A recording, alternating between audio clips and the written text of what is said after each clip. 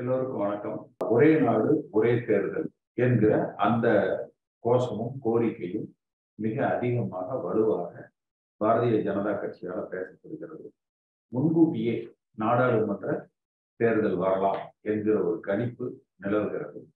அப்படி ஒரு நாடாளுமன்ற தேர்தல் வருகிற பொழுது தமிழ்நாடு உட்பட பல மாநிலங்களில் இருக்கிற சட்டமன்றத்தை கலைத்துவிட்டு சட்டமன்ற தேர்தல்களையும் நாடாளுமன்ற தேர்தலோடு சேர்த்து நடத்தலாம் என்கிற ஒரு பேச்சு விவாதிக்கப்பட்டு கொண்டிருக்கிறது.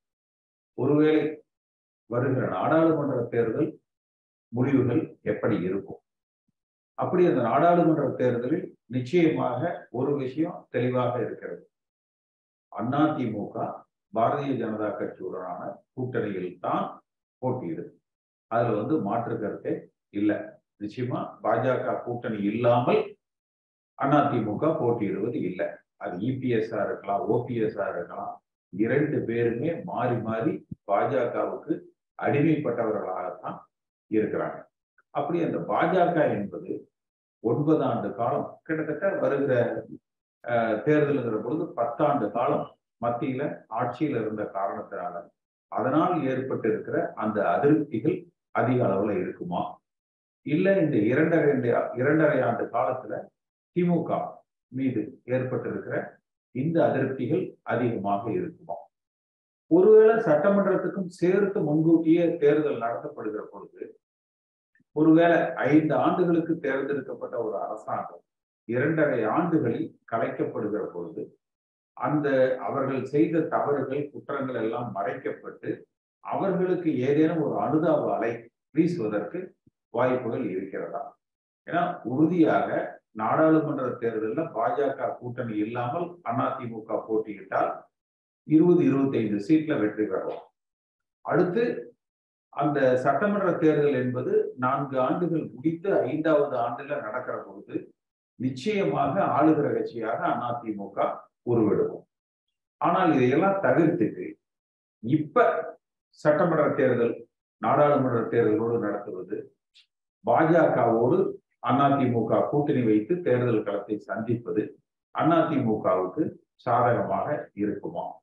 ரெண்டாவது இந்த ரெண்டு சூழ்நிலைகளுமே அவ்வளவு சாதகமாக இருக்காது என்பதுதான் வந்து பொதுவான ஒரு கருத்து. இப்ப திமுக மீது செந்தில் பாலாஜியினுடைய கைது பல ஊழல் குற்றச்சாட்டுகள் இது எல்லாமே பார்த்தீங்கன்னா அந்த பாரதிய ஜனதா கட்சியினுடைய நடவடிக்கைகளால் அது அப்படியே மறைக்கப்பட்டிருது மறக்கப்பட்டு விடுகிறது. இன்றைக்கு இப்ப இந்த ஒரே நாடு ஒரே தேர்தலுங்கிற பொழுது எல்லாம் செதில் பாலாஜியை மறந்துட்டாங்க. திமுகவுடைய ஊழல்கள் மறந்துடுது. அப்ப அந்த ஒரே நாடு ஒரே தேர்தல்னா மோடியா? இல்ல மோடி செய்வது தவறா? மோடிக்கு எதிர்ப்பா?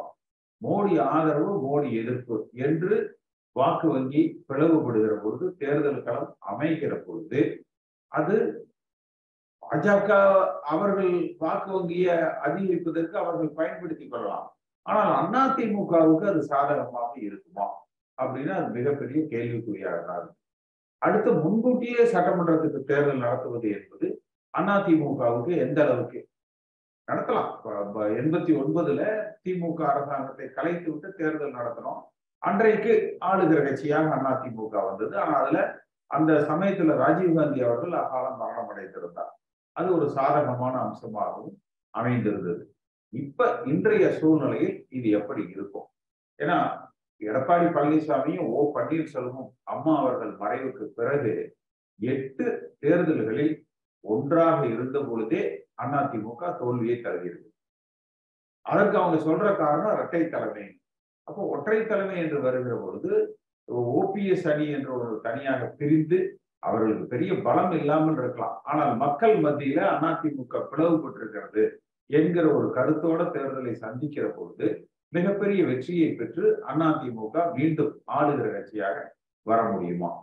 அப்ப மக்களும் தொண்டர்களும் எதிர்பார்க்கிற அந்த ஒன்றுபட்ட அதிமுக பாஜக இல்லாத கூட்டணி தொண்டர்களால தலைமை சாதி மதம் லஞ்ச ஊழலுக்கு அப்பாற்பட்ட அந்த தலைமை. இவைகளுக்கு சாத்தியக்கூறுகள் உள்ளதா? அப்போ ஒன்று வருகிற நாடாளுமன்ற தேர்தல் எப்படி இருக்கும்? இரண்டு ஒருவேளை அந்த நாடாளுமன்ற தேர்தலோடு சட்டமன்ற தேர்தலும் வந்தால் நடத்தப்பட்டால் அது அதிமுகவுக்கு சாதகமாக இருக்குமா?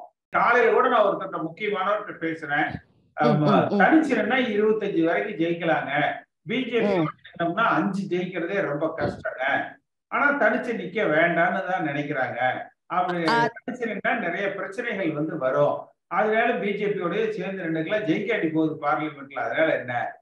ஸ்டாலின் வந்ததுக்கு அப்புறம் என்ன பண்றாங்கன்னா பாஜகவுக்கும் திமுகவுக்கும் கொள்கை ரீதியான ஒரு அரசியல் எடுக்கிறாங்க. அதாவது இளைஞர்கள் எப்படி பிரிகிறாங்கன்னா இந்துத்துவ சக்திகளுக்கு ஆதரவா ஒரு குரூப் இந்துத்துவ சக்திகளுக்கு எதிரா ஒரு குரூப். இந்துத்துவ சக்திகளுக்கு ஆதரவா ஒரு குரூப் போகுது. அந்த. ஆதரவுக்கு நேர் எதிரா ஒரு குரூப் போகுது. அப்ப அந்த இந்துத்துவாவுக்கு எதிரானதுங்கிறது திமுக. இன்னைக்கு இந்த தேதியில பாஜகவை கடுமையா எதிர்க்கிறது திமுக தான். ஆனா திமுக எதிர்க்கிறது இல்ல. அப்ப அந்த அந்த இந்துத்துவ சக்திகளை எதிர்க்கிறவங்க திமுக பக்கம் போயிடுறாங்க. இந்துத்துவத்தை எதிர்க்கணும்னு நினைக்கிறவங்க அது திமுக பக்கம் போயிடுறாங்க. அண்ணா திமுகவுல வந்து இவங்க என்ன நினைக்கிறாங்கன்னா எம்ஜிஆர் மறந்துட்டாங்க. ஜெயலலிதா அம்மாவும் மறந்துட்டாங்க. இப்ப எதுவுமே. இவங்க போய் சொல்றது ஏப்பா ஓபிஎஸ்ஆ இப்படித்தான் பேசுறாங்க. இப்ப சொல்றதே அண்ணா திமுகனா இது எடப்பாடி இதுன்னு ஒரு குரூப் இல்ல இல்ல இது ஓபிஎஸ் இதுன்னு ஒரு குரூப் கடைசியில எம்ஜிஆரை மறந்துட்டாங்க ஜெயலலிதா அம்மாவையும் மறந்துட்டாங்க. இது பிரச்சனை. அதனாலதான் நம்ம திருப்பி திருப்பி ஒவ்வொன்றிலையும் எம்ஜிஆர் எம்ஜிஆர் சொல்லி நம்ம கொண்டு வர்றோம். அது என்னன்னா இப்ப அவங்க எல்லாம் அமைச்சர்களா இருந்திருக்கிறாங்க நிறைய பணபலம் வச்சிருக்கிறாங்க. இப்ப முதல்ல பாத்தீங்கன்னா தினகரனை நம்பி நிறைய கட்சிக்காரங்க செலவு பண்ணி கடனாளி ஆனதுதான் மிச்சமா இருக்குது நம்ம கொஞ்சம். நிதானமா கன்ஸ்ட்ரக்டிவா நம்ம செய்வோம் நிதானமா செய்வோம். ஆனா. நம்ம செய்வோம். என்னுடைய மனப்பூர்வமான நன்றிகள். இந்த காணொளியை காணும் தமிழ் உள்ளங்களுக்கு ஒரு அன்பான வேண்டுகோள். சேனலை சப்ஸ்கிரைப் பண்ணிட்டீங்களா? பண்ணலனா மறக்காம சப்ஸ்கிரைப் பண்ணுங்க. சப்ஸ்கிரைப் பட்டனையும் பெல் ஐக்கனையும் உடனடியாக கிளிக் பண்ணுங்க. உங்கள் அன்பும் ஆதரவும் என்றைக்கும் எங்களுக்கு தேவை. நன்றி.